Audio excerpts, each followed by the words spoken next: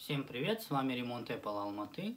И сегодня мы будем собирать из вот этой кучи запчастей MacBook.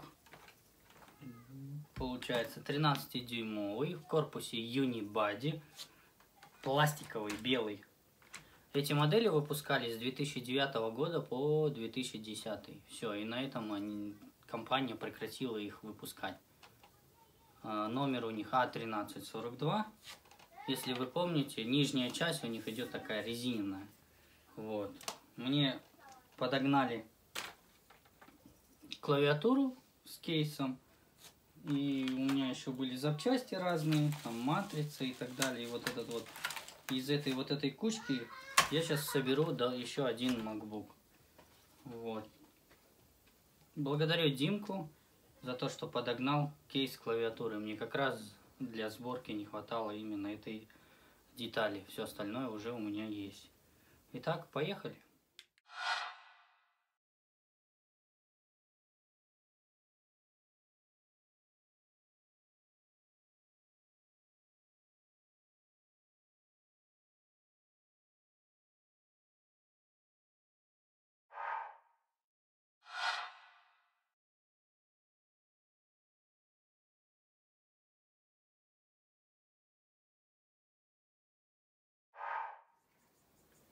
Старт у нас есть.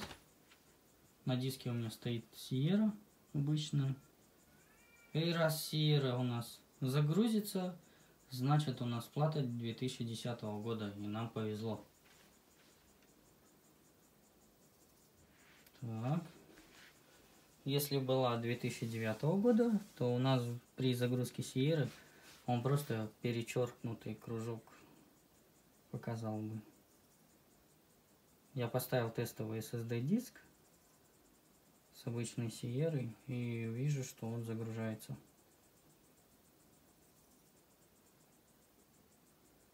Ну, отлично, супер. Компьютер загрузился. Я также нашел нашу батареечку. Вот, сейчас его переверну, закрою крышку, соберу и будем его тестить. О, я тогда со своего старого компьютера переставлю свой жесткий диск и уже буду на нем работать. Вот у меня тоже есть моделька A1181. Еще видите с кнопкой. Это мой рабочий компьютер. Теперь я думаю перейду на тот. Вот, потому что этот уже совсем устарел. Здесь нету э, дисплей порта разъема в этой. Но в принципе вот этот он намного крепче того. Вот. Ну и так сказать, здесь у меня стоит Эль Капитан, это максимально поддерживаемая версия. А здесь уже работает Sierra, что очень радует. Поэтому я просто оттуда перенесу свой SSD жесткий диск и буду на нем работать. Я поставил свой SSD диск на 256 гигабайт. Батарейка у меня оказалась живой, что очень радует. Память 4 гигабайта, DDR3 получается 1066. Ну, я вам более скажу, это плата 2010 года э, и максимально поддерживаемая память 16 гигабайт, которую очень трудно найти. Хотя можно поставить 1333 от Kingston.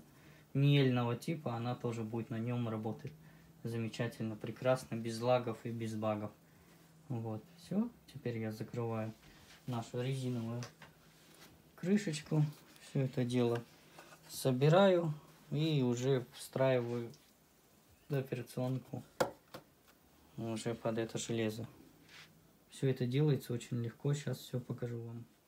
Крышечка наша в очень печальном состоянии, поэтому у меня, когда я выкупал на запчасти, осталось вот этот кейсик. Все недостатки можно будет скрыть нашим кейсиком. Только вот так вот. Болтов, естественно, нету. По периметру 4 болта нашел и закрутил. Все. Теперь этим кейсом скрыл наш недостаток. Вот. Где-то, наверное, есть и от верхней крышки. Надо будет поискать. Где-то он у меня лежит, только не знаю где. Загружаемся. О, у клавиатуры есть проблема. Клавиатуру, которую мне подогнали, у нее, видимо, есть залипание клавиш. Вот, а я уже обрадовался. Вон, видите? То есть у него проблема с какой-то из стрелок.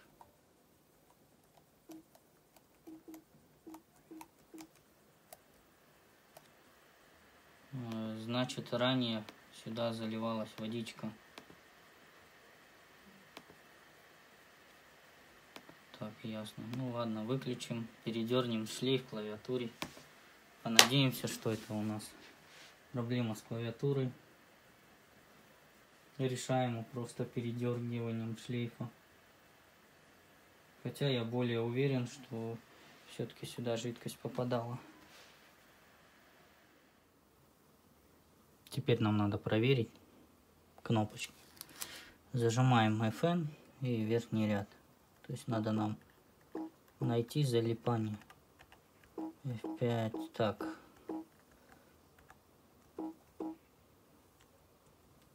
Тут работает второй ряд.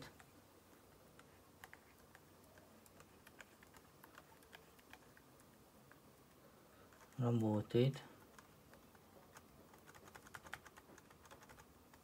Так, Q. Q, верите.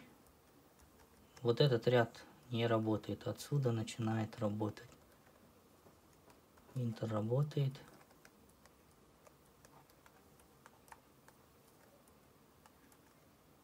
Капслук работает.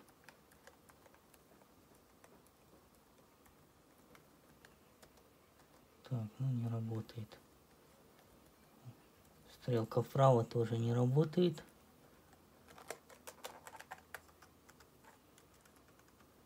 Нижние ряды, пробел. Вот эти работают, да. Видите, клавиатура частично не работает. Вот этот ряд полностью не работает. Почти вот до P. Вот от O до Q не работает.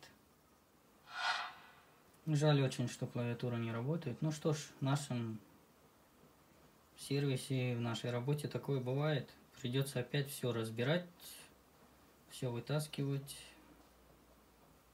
И уже ждать, когда придет к нам клавиатура каким-нибудь методом. Может кто-то у кого-то на разборе найду, поставлю, да соберу себе компьютер.